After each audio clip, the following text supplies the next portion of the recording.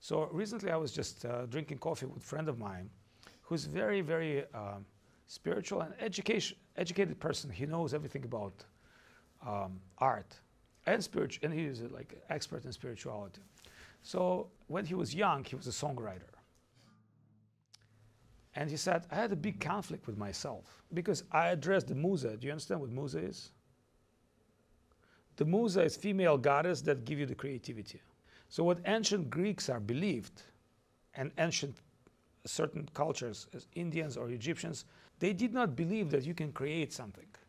What they believed is that you can approach a beings from higher level, the gods and goddesses, and they will grant you with a song and poetry. It's, it's actually an amazing idea because otherwise, how is that somebody's very creative and somebody's not? How, how is that somebody's channeling very deep spiritual knowledge and somebody cannot get it? How someone can just, you know, do the like rap music or immediately perform and somebody's not? Because it appeared to be a, what's coming up, coming from higher level. So, you know, we spoke uh, with this person about Mozart, and you know Mozart is, right? And Mozart was a great musician since childhood. He born as a genius. And of course, he had a teacher, he had father who loved music. But what, um, what was difference between Mozart and Salieri, you know, Salieri was a competitor composer of a king of Austria you know, Austrians, they hire Italians because they thought Italians is now number one. So the king of Austria, he hired Italian composer and he used to be a, a king composer. His name was Salieri. And he was like expert in theory of music and the notes and all possible musical art, but with only one problem. He couldn't compose nearly close to Mozart.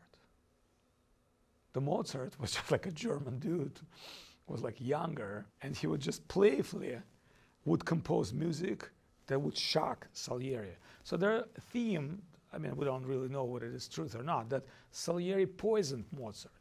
And one of the themes, he was the only guy who really understood the genius of the guy, of his competition. He couldn't bear that. But we don't know whether it's true or not. But one thing we can say about Mozart, he's not been as clever as Salieri from point of like academic education. But what he did, and I tell you what he did, the film about him begins from pam, pam, pam, pam, pam, pam, pam, pam, pam. You all know that, right? Because it's Mozart. Even if you don't know it's Mozart, pam, pam, pam, pam, pam, pam, pam. It's, it's always the jingle that you can put in your mobile phone, you can put in advertising. And there are people that all day long trying to create jingles. Sorry, they can't create this one. Why? Because that is Mozart.